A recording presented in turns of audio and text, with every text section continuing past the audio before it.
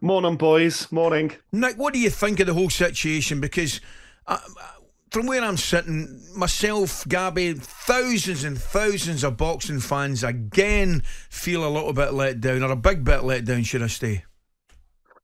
Of course, because we've been here before, haven't we? It wasn't too long ago when the uh, Anthony Joshua and Tyson Fury talks teased yeah. us in a very similar way and ultimately came to nothing. We had a date, we had parties saying everybody wanted it. We have social media back and forth from both fighters saying, you know, all the usual trash talk and everything else. And then ultimately, it's the accountants that uh, that can't get it over the line. They blame the two fighters. Really frustrating once more because the the difference here, of course, was that you know, Usyk's not coming off a loss, and neither is yeah. Fury. These are the two guys at the very top of the tree. All four belts would have been on the line. The first time in history we would have had a unified champion of the four belt area of the heavyweight division. And as Frank pointed out yesterday morning, the, the, the opportunity for that to come again isn't so easy because there's four leading contenders in each of those belt divisions that will all now start banging a drum and wanting a shot at the uh, at their respective uh, governing bodies' belts. So it, it is really disappointing. But let's be honest, as I've just started the chat there, boys. Yeah. If we're going to point a finger, who are we going to point to that right now? I'll tell you, we're going to point to that. The common denominator that brought down the AJ fight, that has brought down this fight. I'm sorry to say, I know he professes to be a fighting man and yeah. would fight for free. But this is all on Tyson Fury, as far as I'm concerned. Well, yeah, yeah. You know, I think as well though, like when you see the back and forth on social media, and you see Tyson Fury's Instagram and his Twitter, and he's like, "All right, I'm off it now because I'm getting into camp and the fight's happening." It just shows, doesn't it, that like, does he even want the fight? Did he was he trying to call Usyk's bluff by saying 70-30?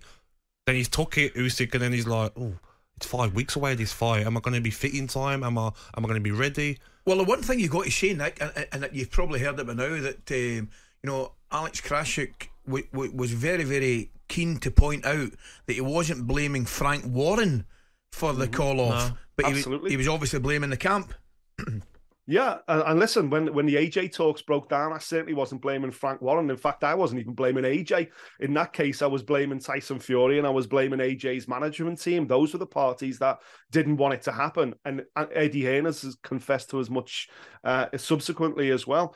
I think the situation here is both Alex and both Frank Warren have done everything in their power.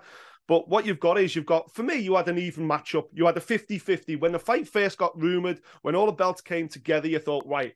And everyone involved said, to 50 50 this. You've got Alexander Usyk, undefeated, former cru- undisputed cruiserweight champion, done it all on the road. Most people's opinion, the pound for pound best fighter on the planet. And you've got Tyson Fury, the best heavyweight on the planet, the guy that's just, you know, basically finished off Deontay Wilder. It's an easy fight to make this. 50 50 Saudi Arabia. Yeah. They go to Saudi, they fail to do, well, Tyson fails to do a deal with the Saudis, even though Usyk got his over the line. So it's right, let's move it to Wembley. Okay, now we've got to talk about pay split because Tyson is the big ticket seller because he's the domestic fighter. So I'm thinking 60 40 is more than mm-hmm. fair.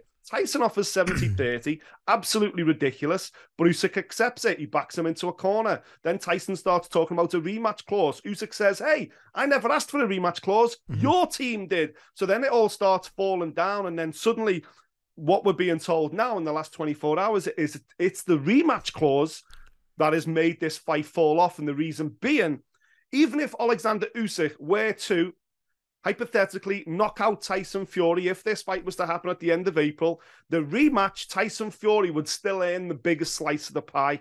How does that make sense? You've already had the guy come yeah. down and say, okay, I'll accept 30%. But if he knocks you out in one round, you then expect him to sign for an immediate rematch in which he will earn the smaller slice of the pie as well. There's no way in the world that Alexander Usyk, as a man, as a fighting man, as an undefeated world champion, is going to accept mm. a smaller slice of the pie for a rematch of a fight that he's already won. Doesn't make any sense. Nick, I think I can inform you the amount of people nodding their heads in the studio around here, everybody just about agrees with everything you said, mate. So thanks very, very much for your time. We'll have morning. Jake Porter looking forward to, I think. Well, that's I'm just yeah. I'm just thinking with AJ Fury, I'm you know uh, Conor Benn. Let's get into the, the, the YouTube boxing we, more. We yeah. need a boost. Boxing needs a boost. thanks for joining us this Thank morning, you, mate. Talk Sport Breakfast, waking you up Monday to Friday morning from 6 a.m.